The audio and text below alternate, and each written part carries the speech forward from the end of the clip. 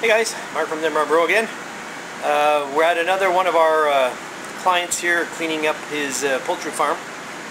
Um, this guy was the first poultry farm we had ever cleaned um, back in 2000, early 2007.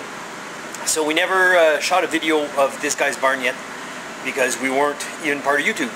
So now that we are, uh, he cleans his barn every second year. So 2011, uh, we're here cleaning it now. So I'll give you a quick tour. Uh, we've got Louis and uh, Renal cleaning right now.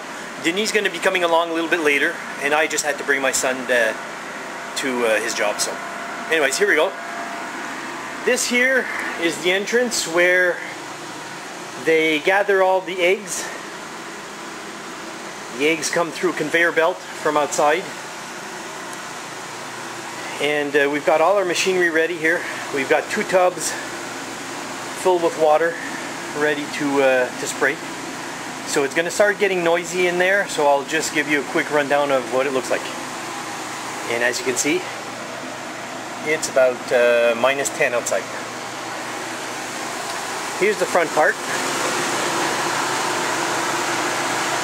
This is where the uh, grain comes in, feeds into the grain feeder in here, and feeds all the chickens. So we're going to have to do a front clean here. Got to clean all the conveyor belts all the way down. And if you could see, Louis is up here all the way down uh, at the top on the little uh, trolley type thing cleaning. This barn is 27 feet wide, 500 feet long, 12 feet high. There's five racks of uh, chicken cages or coops if you want. So we've got four rows. I will be cleaning down here where all of the uh, the fans are and the air intake, which is very dirty up top here. So now that I've shown you the front part, I'll quickly run to the back and show you the uh, the back end where the conveyor belt goes to the manure, uh, brings the manure in the back and chucks it into the garage. So here goes.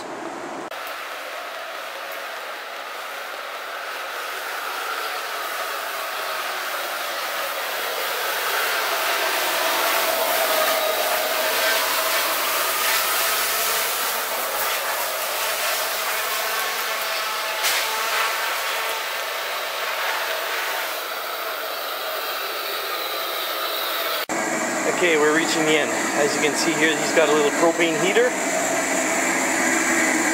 Keeping at least heat inside here so that the uh, the water intake, the water uh, pipes don't freeze. So right here is the back. Uh, hopefully, hopefully it's not all uh, misty. I did go through a mist of water. This is the back. not too many lights back here. I don't know where his light switch is. Oh, wait a second. Here we go.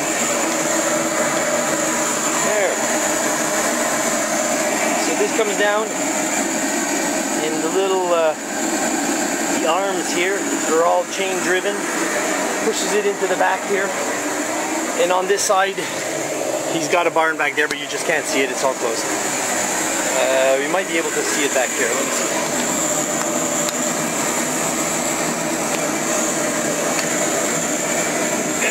Door seems locked, so never mind that.